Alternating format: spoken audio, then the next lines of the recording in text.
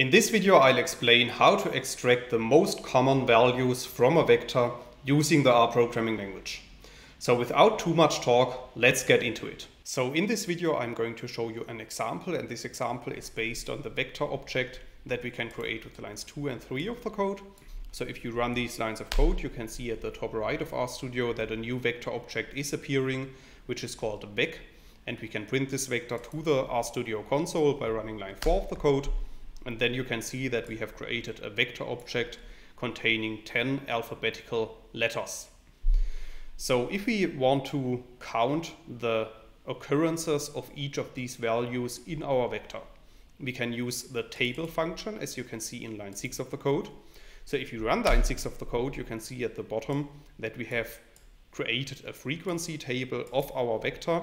And as you can see, the value a is contained three times in our data the value b two times, and so on. So you can also see that at this point, the table is showing all values in our data. However, let's assume that we want to extract only the three values that are the most common in our data. Then we can apply the code that you can see in line 8.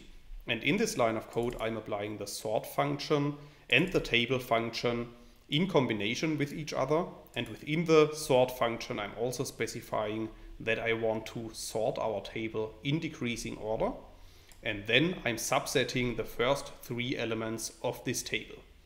So if you run line 8 of the code, you can see that another frequency table is returned at the bottom in the RStudio console.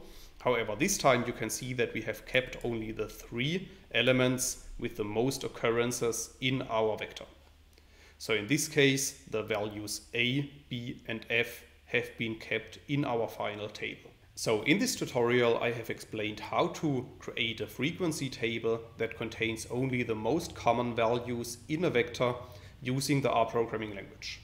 However, in case you want to learn more on this topic, you could check out my homepage, statisticsglobe.com, because on the homepage I have recently published a tutorial in which I'm explaining the content of this video in some more detail, and I will put a link to this tutorial into the description of the video. Furthermore, if you have liked the video, I would be very happy if you leave me some positive feedback in the comments. And make sure to subscribe to my YouTube channel to get notifications in future when I'm releasing new videos to the channel. That's it for this video. Thanks a lot. See you next time.